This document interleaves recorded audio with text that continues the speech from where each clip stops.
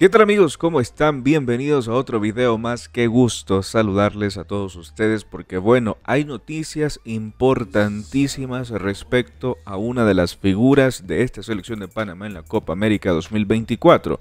Como saben, ha estado un poco apagado el tema de los fichajes cuando se creía que esta Copa América iba a ser una vitrina importante para estos futbolistas panameños, pero no hay mucha información. Pero en las últimas horas se estaría definiendo lo que es el futuro de Edgardo Fariña, el defensor de 22 años que asombró a todos en esta Copa América siendo uno de los puntos más altos para esta selección panameña en este torneo.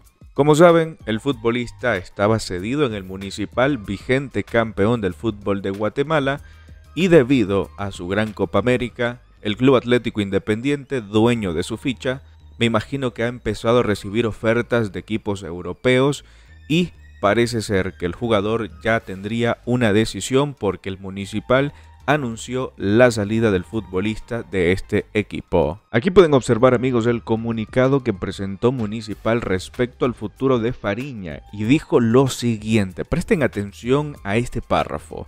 A raíz de la sobresaliente participación de Edgardo Isaac Fariña Winter en la Copa América 2024 con la selección de Panamá, Municipal y el Club Atlético Independiente resolvieron en conjunto considerar y analizar las diferentes propuestas que se han presentado, esperando decidir en los próximos días la más conveniente para el desarrollo profesional y deportivo del futbolista y para ambas instituciones. Esto fue lo que dijo Municipal respecto al futuro de Edgardo Fariña, amigos.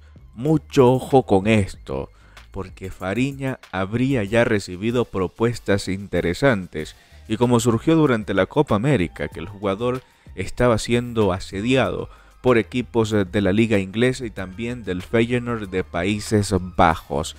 Vamos a ver qué pasa amigos, esta es una noticia bastante alentadora porque todo parece indicar que Edgardo Fariña será la gran noticia para el fútbol panameño después de la Copa América 2024, aunque uno creería que más futbolistas debieron interesar a otros ojeadores, pero al final parece ser que Fariña será el punto más alto para esta selección tanto con su participación ante la necesidad que tenía la selección en ese momento debido a las enormes bajas que sufrieron en defensa, pero al final parece que ese tema se resolvió y el técnico encontró a un central a futuro, a un central que le puede dar muchas alegrías a esta selección y con 22 años salir del fútbol de CONCACAF, amigos, y quizás llegar al fútbol europeo será un enorme salto para este jugador, espigado, rápido, fuerte, técnico y que sin duda alguna, sin duda alguna, lo va a potenciar.